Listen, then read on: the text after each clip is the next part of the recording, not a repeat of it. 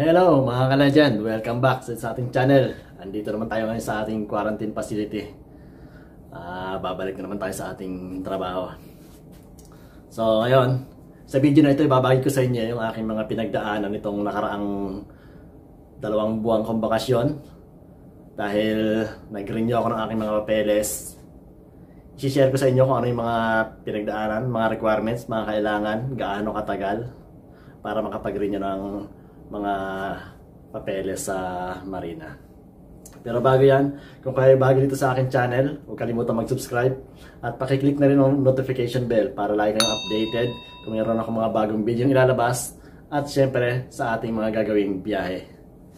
At kung kayo ay mga pauwi at expired ang mga papeles, para sa inyo to mga ka-legend, paghandaan nyo na kung paano nyo rin yung inyong mga papeles sa darating nyong bakasyon. Kung gusto nyo lang, kung gusto nyo lang naman, mapaaga at hindi kayo magtagal sa bakasyon nyo. Alam niyo naman, pandemic ngayon, ang hirap kumita ngayon dito. Lalo na kung ikaw ay talaga namang walang ibang pinagkakita. Tara, samahan niyo ako na matapos itong ating mga papeles na ito.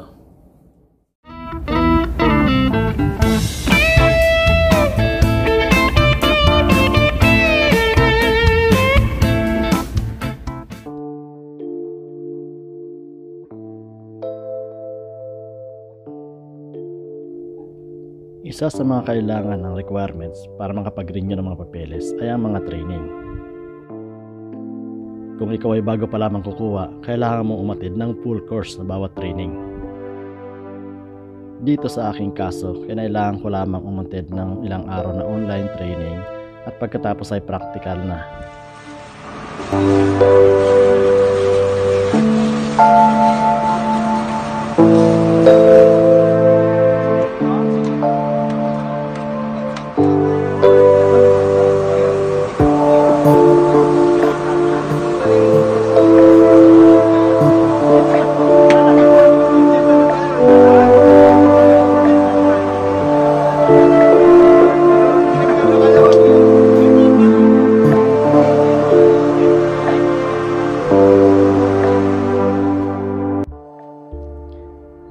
Kinakailangan dumaan sa ganitong proseso. Mapa-opisyal ka man o hindi, mapapakina ka man o kubyerta. Lahat dadaan kayo dito.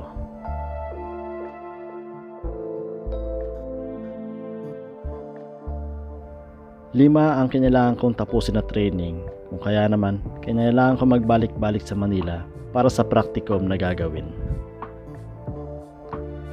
Alas 5 ng madaling araw hanggang alas 6, umaalis ang service ng training center papunta sa training site.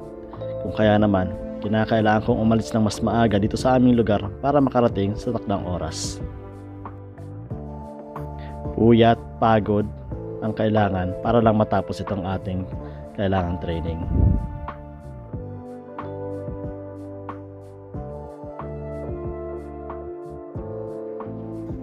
At nang matapos ko ang lahat ng training, kailangan ko namang kumuha ng slot sa marina.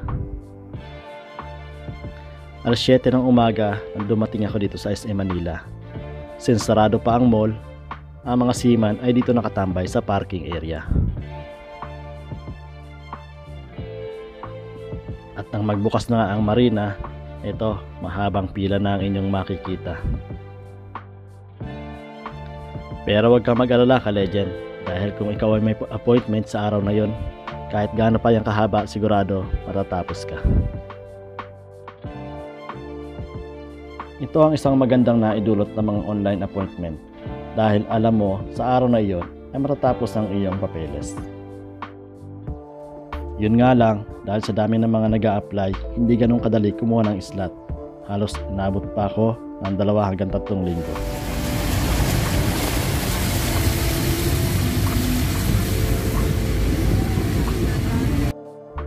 Matapos ko makuha ang aking papeles, inabutan naman kami ng ulan habang kami papauwi. At dahil ba sa aming daraanan at hindi kami makatawid, kinailangan namin bumalik dito sa Manila at maghanap ng parking area na pwede magpalipas ng gabi. Makalipas ang ilang oras na pagtigil ng ulan, alauna ng madaling araw, muli namin sinubukan bumiyahe pa uwi sa amin.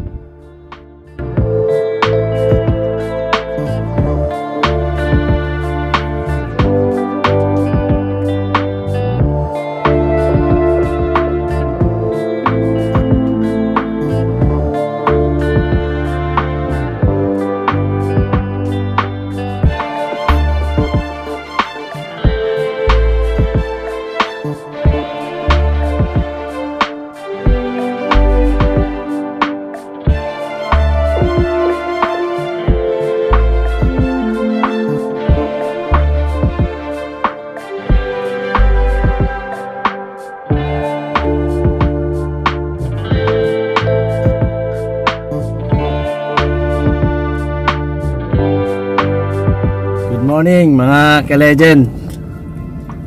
Nandito ako ngayon sa harap ng marina Para sa expedite ng aking mga documents. Babalik na ulit tayo sa barko. So, Ano nga ba ang mga requirements para tayo makapag-expedite? Ito na, nakuha ko na.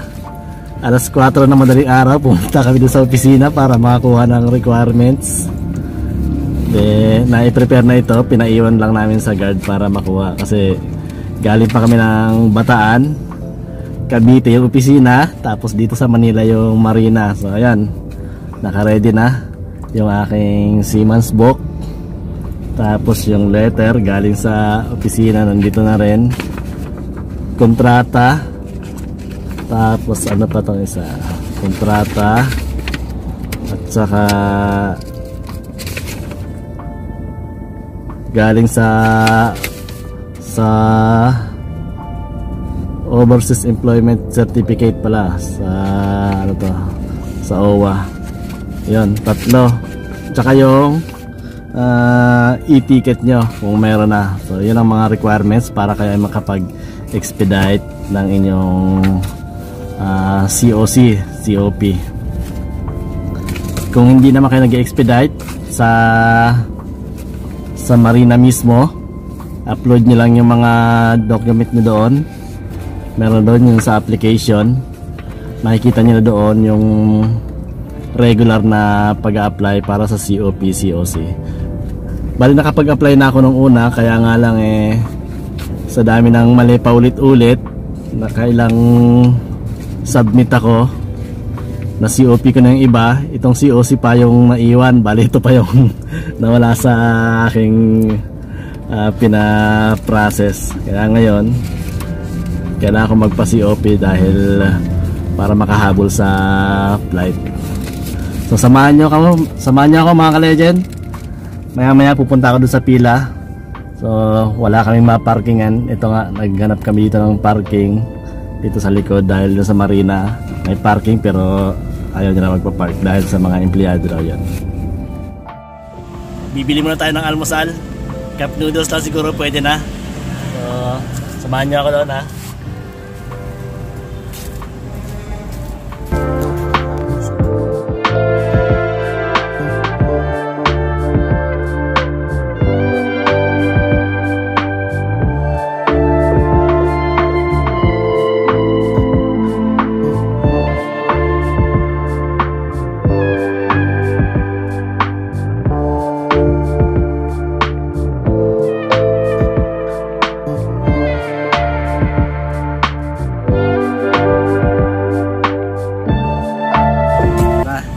almusal natin.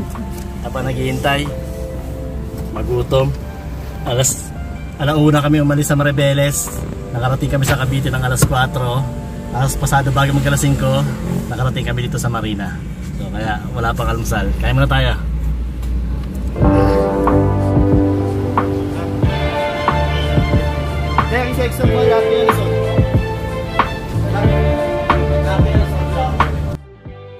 Ito ang harap ng marina.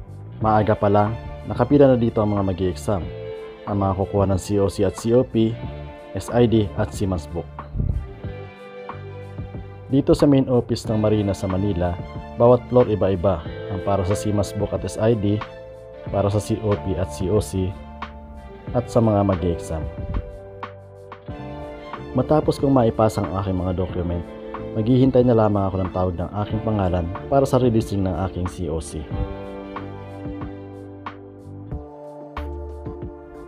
Matapos ko makuha ang aking COC, lumipat naman ako dito sa isang floor at para kumuha ng SID. Kung dati pahirapan ang pagkuha ng SID, ngayon saglit na lang. Kinakailangan mo lang ulit mag-fill up online at bayaran ito sa mga bayad center o kaya naman sa 7-Eleven. At pagdating naman dito sa Marina, tatlong step lang mga ka-legend. Pag-check ng mga papeles, picture at releasing na. Ganun lang kadali mga ka-legend. Ano, kaya ba?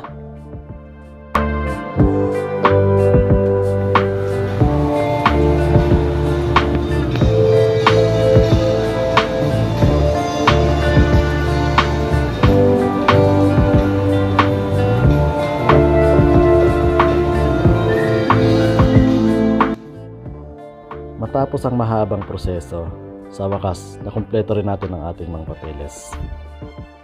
So ngayon, kumain muna tayo at ang susunod naman natin na hintayin ay ang ating pagsakay muli ng barko.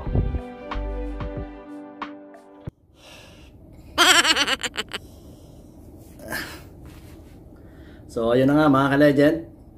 Natapos din natin yung ating pagpaprocess ng mga papeles. Sana may nakakuha kayo ng idea dito sa ating video sa mga pauwi dyan. Lalo lalo sa mga expired yung inyong mga documents. Ang susunod naman natin ay hintayin ang ating pagalis. Andito tayo ngayon sa quarantine, quarantine area. Medyo matagal-tagal pa tayo dito. So makakagawa pa tayo ng mga ilang video.